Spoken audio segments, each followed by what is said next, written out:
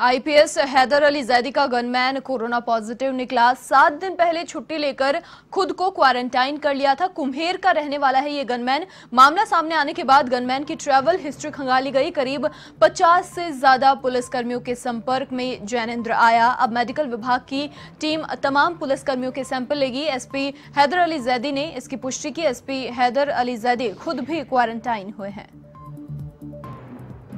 मामला सामने आने के बाद गनमैन की हिस्ट्री खंगाली गई। करीब 50 से ज़्यादा पुलिसकर्मियों के संपर्क में वो आया था।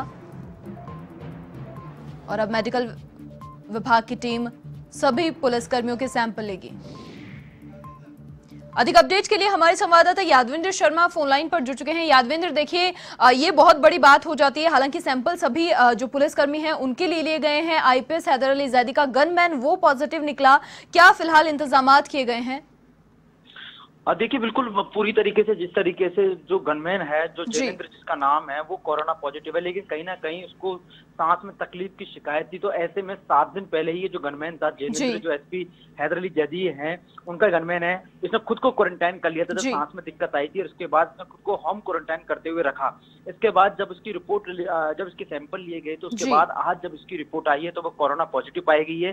जैसे जैसे ही कोरोना पॉजिटिव की रिपोर्ट आई तो ऐसे पूरे ही पुलिस महकमे में यहाँ पर हड़कम मच गया है भरतपुर के अंदर चूँकि जो गनमैन था वो लगातार कई पुलिसकर्मियों के संपर्क में आया था। एसपी कार्यालय में इसकी मौजूदगी रही थी। ऐसे में कई पुलिसकर्मी थे जो एसपी कार्यालय में रहते थे वो तमाम पुलिसकर्मी इसके संपर्क में आए थे। मगर फ़िलहाल यहाँ पर इसकी ट्रेवल हिस्ट्री निकाली जा रही है कि आखिरकार इसके अलावा ये जो जैनेन्द्र है जो कुमेर का रहने वाला है बेसिकली किन किन पुलिस कर्मियों के संपर्क में है इसके अलावा जो एसपी कार्यालय के अंदर जो परिवादी आते थे ऐसे कौन कौन से परिवादी आते थे जिनके संपर्क में ही आया था जिनके टच में ही रहा था इन सब चीज़ों को इनकी ट्रेवल हिस्ट्री खंगाली जा रही है और ये पता लगाया जाए लगाया जाए इसके अलावा जो इसका यहाँ पर जो सीएससी अस्पताल है महात्मा गांधी उसमें कोरोना पॉजिटिव है जो ये जैनेन्द्र उनका यहाँ पर इलाज चल रहा है। लेकिन एक अच्छी बात यहाँ पर यह है कि मनीषा जब इसको सांस में दिक्कत आई थी इसको और जुकाम हुई थी तो उसने खुद को क्वारंटाइन कर लिया बिल्कुल ये खास बात यहाँ पर। जो थे ये घर के अंदर ही था और जब इसकी रिपोर्ट अब आई है तो कहीं ना कहीं राहत की सांस यह है कि सात दिनों के भीतर किसी के संपर्क में नहीं आया था। मगर एक बात ये भी है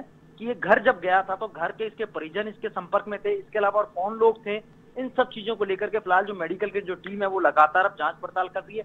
माना जा रहा है कि जो घर के तमाम जो परिजन हैं इसके जो संपर्क में थे उन सबको भी यहाँ पर क्वारंटाइन रहने के लिए कहा गया। इसके अलावा पचास पुलिस कर्मियों की जो लिस्ट सामने आई है उन सबके यहाँ पर जो मेडिकल विभाग की जो टीम है उनके सैंपल लेगी और उनको यहाँ पर लैब में भेजा जाएगा और पता लगाया जाएगा कि कौन कौन सी जो लोग हैं वो कोरोना पॉजिटिव निकल निकलेंगे और किन किन लोगों पर किन किन पुलिस कर्मियों पर किन किन परिजनों पर यहाँ पर कोरोना पॉजिटिव होने की यहाँ पर आशंका बनी हुई है। ये सब चीज़ें ये रिपोर्ट आने के बाद पता चलेंगी बिल्कुल। बिल्कुल अपडेट हम आपसे लेते रहेंगे। यादवेंद्र फ़िलहाल के लिए आपका शुक्रिया। आपको बता दें कुम्हेर का रहने वाला ये गनमैन और कोरोना पॉजिटिव पाया गया है। हालाँकि सात दिन पहले खुद को क्वारंटाइन कर लिया था।